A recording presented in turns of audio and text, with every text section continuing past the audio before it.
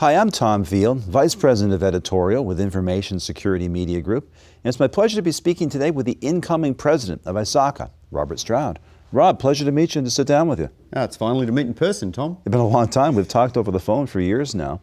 Um, and you've always been an international vice president. Now you're being elevated to president. Really, what's the significance of, of this uh, elevation? Uh, ISACA, as you know, and, and, many of the audience will know, is 110,000 people in, in well over 170 chapters worldwide.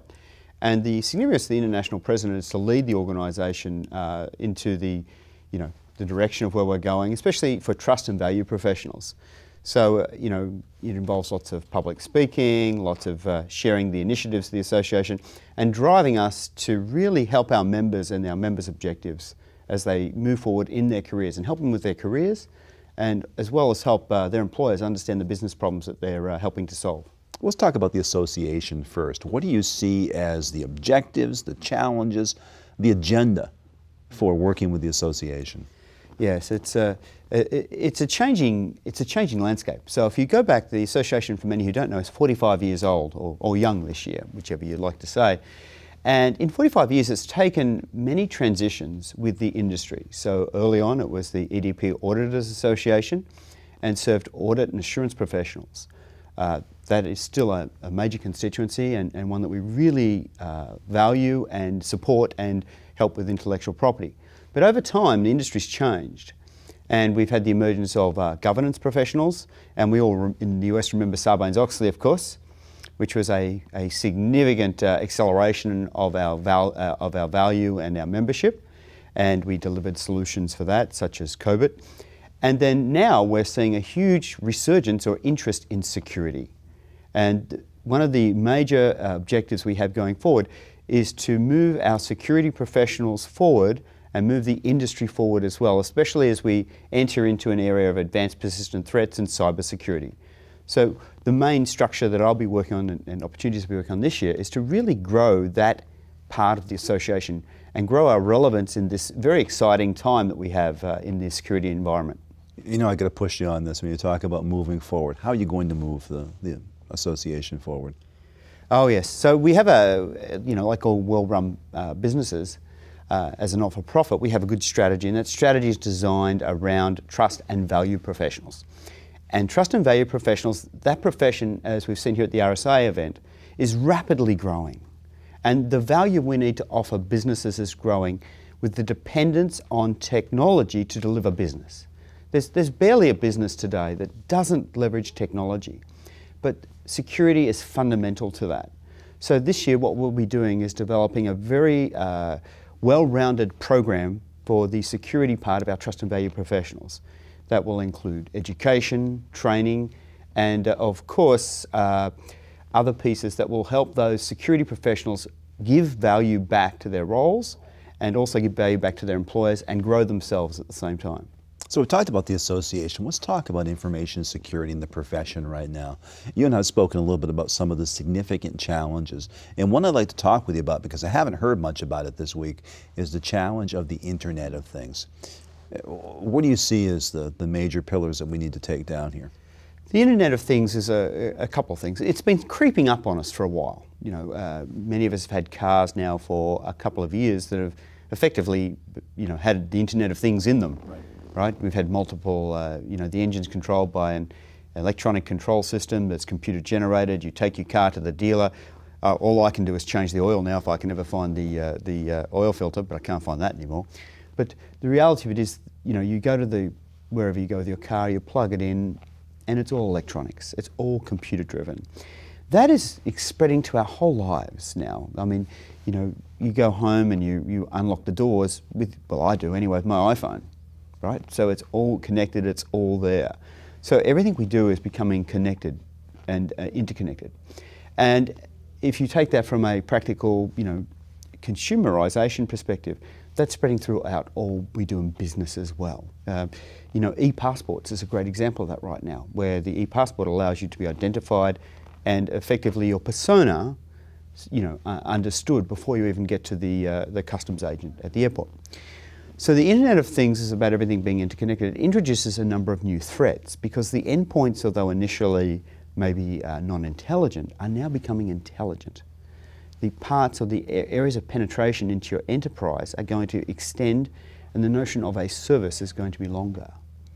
This is a really interesting um, change to our environment. Even like my car, which was no longer, it's no longer simple, the whole value, service value chain is now complex as well.